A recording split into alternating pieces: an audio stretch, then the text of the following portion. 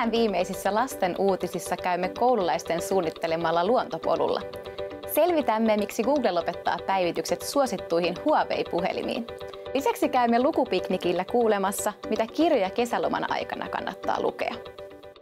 Helsingin Torpparinmäen peruskoulun oppilaat saivat viime syksynä hauskan haasteen, kun viereisen Torpparin taival-nimisen luontopolun taulut päätettiin uusia. Me käymme katsomassa, mitä uusitun polun varrelta nyt löytyy.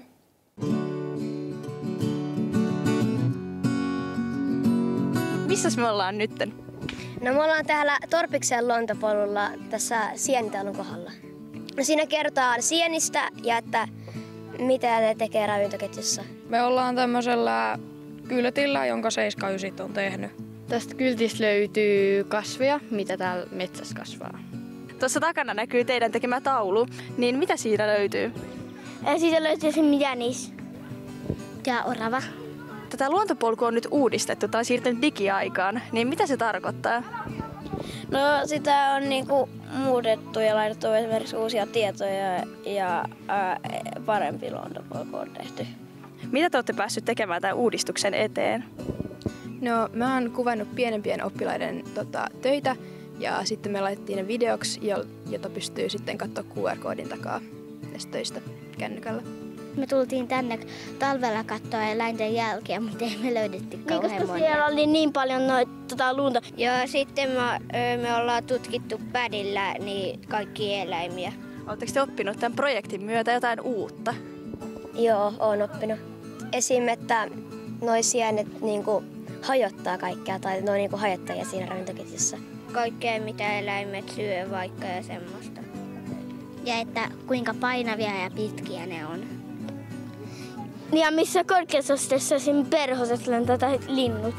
Me ollaan opittu vähän erilaiset kalalajeista ja me ollaan katsottu Wikipediasta tietoja kalakirjoista, niin on sieltä jotain uutta tullut. Olen oppinut, että mitä täällä niin Torpiksessa on ympäristössä, kaikki eläimiä ja kasveja. Mitä täällä oli siis ennen näitä teidän uusia kylttejä?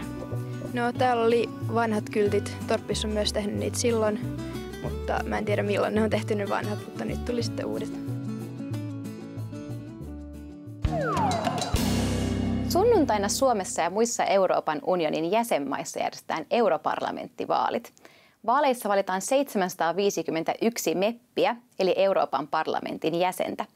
Heidän tehtävänsä on seuraavan viiden vuoden ajan säätää Euroopan unionin yhteisiä lakeja. Euroopan parlamentti toimii siis hieman samaan tapaan kuin eduskunta Suomessa.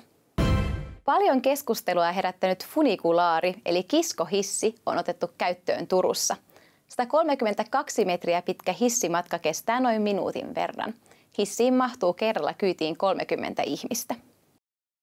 Maanantaina Google kertoi lopettavansa päivitykset kaikkiin Huawein valmistamiin puhelimiin. Toimittajamme Kukka kertoo nyt meille, mitä tämä merkitsee niille, joilla sattuu olemaan käytössä Huawein puhelin. Google ilmoitti maanantaina, että jatkossa Huawein valmistamiin Huawei- ja Honor-merkkisiin puhelimiin ei saa ladattua laitteiden tietoturvaan liittyviä päivityksiä. Lisäksi uusissa puhelimissa ei voi enää käyttää Googlen sovelluksia, kuten Play-kauppaa, Chrome-selainta tai YouTubea. Huawei-puhelimien omistajien ei silti kannata hätäillä, sillä vielä ei tiedetä, mitä puhelimille oikeasti tapahtuu. Google ei haluaisi sulkea Huawei-käyttäjiä sovellustensa ulkopuolelle, koska he ovat tärkeitä asiakkaita. Yhdysvaltalaisen Googlen on kuitenkin toimittava niin, sillä Yhdysvallat on kieltänyt kiinalaista Huaweita ostamasta tekniikkaa yhdysvaltalaisilta yrityksiltä. Kielto johtuu ilmeisesti siitä, että Kiina ja Yhdysvallat käyvät kovaa kilpailua taloudesta ja vallasta. Yhdysvallat väittää, että Kiinan valtio käyttää Huawein valmistamia puhelinverkkoja vakoiluun.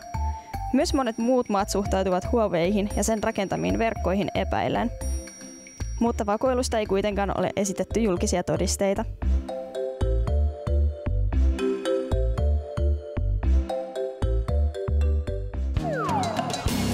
Viime lauantaina Israelissa järjestetyn Eurovision laulukilpailun eli Euroviisut voitti Hollannin Duncan Lawrence, joka esitti Arcade-nimisen kappaleen.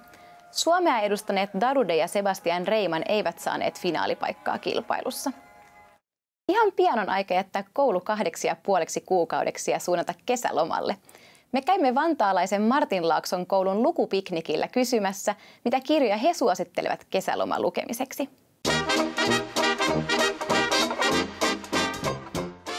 Minkä takia täällä on tänään koira mukana? Manta on Kennelliiton lukukoira ja Mantalle yleensä lapset tulee lukemaan tavallisesti tuonne kirjastoon, mutta nyt on tämmöinen poikkeuspiknikpäivä, niin me tultiin tänne mukaan. Mikä tämä lukupiiri oikein on? No siis me luetaan ykkös- ja kakkosluokkalaisille eri kirjoja täällä ulkona. Mä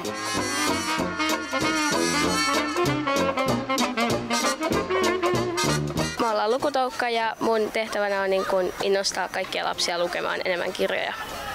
Minkälaisia kirjoja te tykkäätte itse lukea? Jotain jännityskirjoja, tällaisia on kaikista kivaimpia. Yleensä mä luen sellaisia vähän aikuisten. Lempparikirja on ää, aika taistelunen. Manta tykkää lapsista ja mielellään pesis kaikkien korvat, jos vaan niin kuin pääsisi vähän lähemmäs, niin kyllä tulisi aamupesut tässä saman tien lukemisen ohessa. Miten te itse löydätte kiinnostavia kirjoja? No mä kysyn kavereilta ja sitten YouTubesta joskus on katsonut jotain kirjavinkkejä. No silleen, että vaan mun äiti käy kirjastossa. Mikä lukemisessa on parasta? Varmaan se, että kun lukee kirjaa, niin me niin kuin uppoutuu siihen tarinaan ja tuntuu niin kuin on itse sellaisessa maailmassa. Mun mielestä lukeminen on tosi kivaa, että esim. illalla ennen kuin menee nukkuun, niin se on tosi mukavaa. Minkä takia teidän mielestänne on tärkeää lukea? No sen takia, että sit kun sä luet, niin sun kielivarasto kehittyy. Kans niinku rentoutumaan ja sitten oppimaan uutta ja tietämään erilaisista asioista. Ja... Sille, että osaa lukea, että pääsee johonkin työhön. Sitten vielä bonuskysymys. Mitä kirjaa suosittelisit kesäloman lukemiseksi muille lastenuutisten lukijoille tai katsojille? Ei sellaisia kivoja lastenkirjoja. Ei kannata lukea sellaisia aikuisten. Se riippuu ihan siitä, minkä ikäinen on. Esimerkiksi just mä oon tykännyt lukea ala-asteella jo ihan Harry Pottereita, mutta nyt yläasteella mä oon sit siirtynyt vähän niin kuin enemmän näihin yläasteelaisille suunnattuihin kirjoihin. Esimerkiksi se Onko ihan normaali. Sitten vielä Manta. Manta, minkä takia sun mielestä lapsien pitäisi lukea?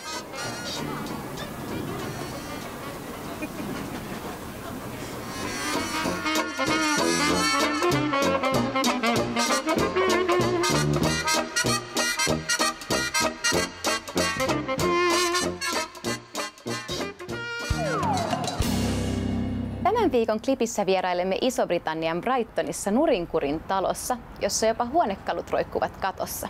Hämmentävä näky on herättänyt hilpeyttä ja kummastusta vierailijoiden kesken. Paikka on erityisesti selfieiden ottajien mieleen, sillä talon hauskat yksityiskohdat takaavat varmasti hulvattomia kuvia. Siinä oli tämän kevään viimeiset uutiset. Me näemme seuraavan kerran vasta kesäloman jälkeen, joten oikein hauskaa kesää kaikille. Muistakaa nauttia lomastanne.